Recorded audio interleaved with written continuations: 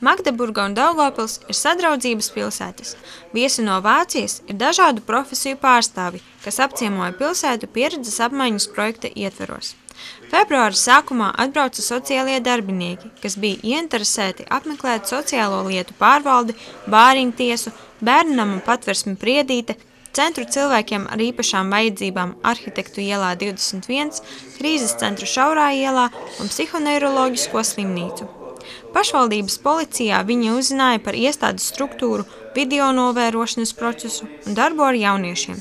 Savukārt Daugavpils cietumā par sociālo darbu ar notiesātajiem.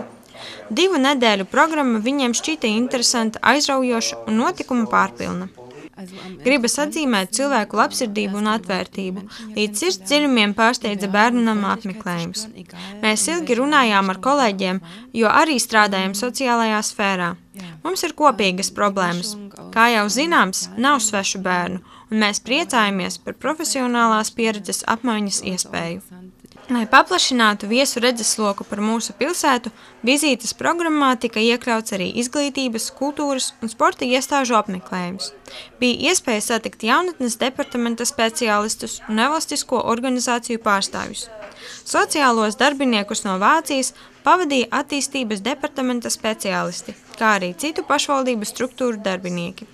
Daudzi runā kādā svešvalodā, tāpēc mums nebija nekādu saziņas problēmu. Mēs apmeklējam kultūras iestādes, bijām arī poļu kultūras centrā, kur notika vietējas mākslinieces Ērikas Virbulis izstāde.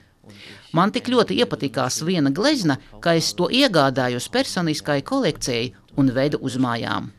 Kā atzīmēja Matijas, Magdeburgā viņi stāstīs par Latviju un Daugopili, lai mūs apciemotu pēc iespējas vairāk turistu. Pie jums ir ko redzēt, teica viņš uz atvedām. Divu nedēļu bija par maz, lai apskatītu visu.